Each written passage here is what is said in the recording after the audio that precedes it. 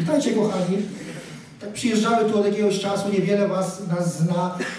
W końcu się zdecydowałem od paru tygodni, tak myślę powiedzieć. Przyjeżdżamy z Radomia, za Radomia, 15 km z Radomia, całą rodziną.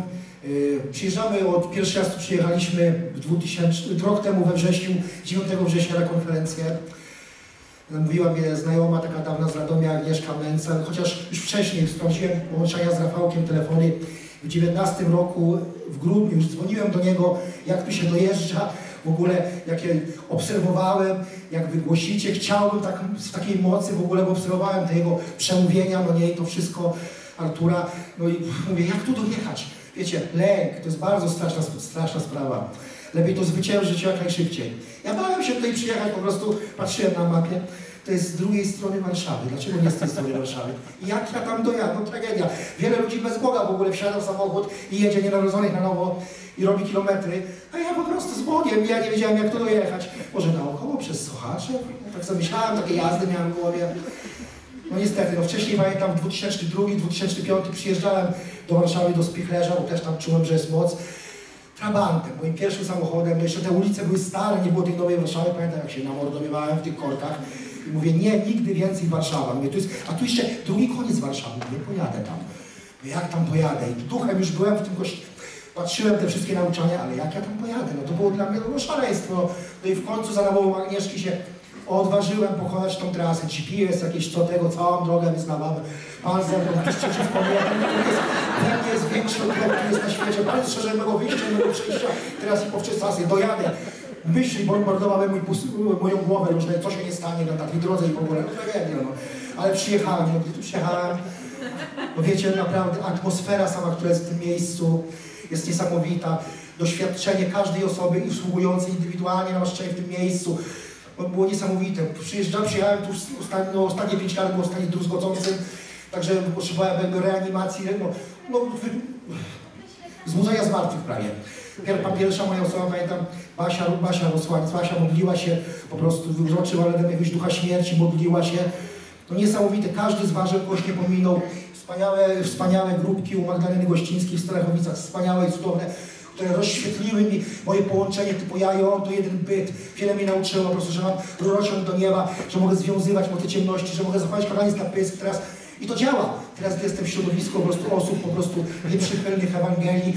Zakładam, jak jadę sobie w takie miejsce, jest na pysk, zbor, stworzenie mocy ciemności, nieprzychylną mowę. Milczą człowieku jak na Zasia. Nie ma możliwości, żeby ktoś się śmiał, jakieś tam podteksty. Wszyscy tutaj mają, zobaczyłem też, przyjechał, nie mógłbym zapomnieć poszła gdzieś Julity. Nie mógłbym, te uzdrowienie, które pamiętam, miałem astmę, tak od 10 lat miałem astmę, jakąś tam wrodzoną rzekomą, miałem tam jakąś spirometrię. No i mówię, zawsze, no, kiedyś jeszcze w szkole zawsze byłem, mimo że byłem nie, szczupły jeszcze byłem, ale zawsze byłem ostatni, no jakąś astmę. No i pamiętam, wyszedłem do modlitwy, o tą astmę, mówię, nie chcę mieć astmy. Stanęła nade mną, pomodliła się i powiedziała, już nie masz astmy. Jaka diagnoza?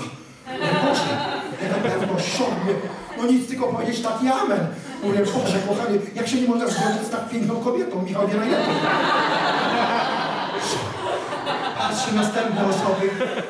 Zobaczyłem Gosię, jak, jak ona tańczy, jak ona uwielbia. Mówię, Boże, Przecież tak uwielbiać, tak, tak. Nie znam osoby po żadnym haju, po żadnych narkotykach, po żadnym alkoholu.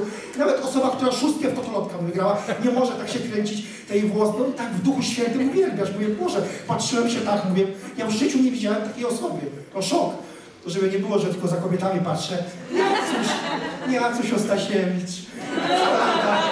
Mówię, Boże, to jest anioł? Anioł? Serafim? Wstawiennik. Jak on się porusza. Ja się nie próbował, ale zdałem sobie końcu sprawę, że to nie moje buty. Mówię normalnie, jak on ziemi nie dotyka. Normalnie. Także każda osoba, która jest w tym miejscu, przynosi kogoś, oczywiście wszyscy, wasze modlitwy, wszystkich po prostu niesamowity wpływ na mnie. No widzę, że to jest potężna armia czasów ostatecznych. Ja nie wierzę, że Bóg ma tylko jednego Reinharda Bonka, jednego Berekina, czy James Mayer. Po prostu wiele takich kobiet się morduje gdzieś tam w kościołach, po prostu przytłoczonych przez swoje chore liderstwo, że po prostu nie mogą głosić. A tymczasem Bóg ma, Bóg ma tu wielką armię, widzę, i to jest niesamowite. Kasia. Nie mógłbym pominąć. Pamiętam, jak ona rozkręciła nieraz atmosferę w Duchu Świętym, jakie było namaszczenie. Ludzie upadali pod mocą uzdrowienia, jakie były. No i parę lat dopiero jest w kościele. Mówię, to jest niesamowite. Mówię, żeby ona trafiła pod inny adres, siedziałaby teraz w ławce. Siedziała i siedziała.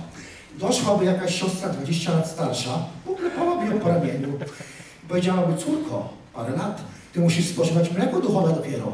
Siedź, bądź pokorna, nałóż chustę. Ucz się ode mnie, jestem 20 lat starsza. Zaśpiewajmy może coś ze śpiewnika pielgrzyma. Otwórzmy stosowną piosenkę. Czekam na Ciebie, Panie, czekam i czekam wciąż, aż ruszysz moje cztery litery. I wtedy odezwie się głos. Już zrobiłem wszystko. Odrzuć ten śpiewnik pielgrzyma. Ty boj za lepiej posłuchaj. Wstawaj i walcz, to twoje dzieło,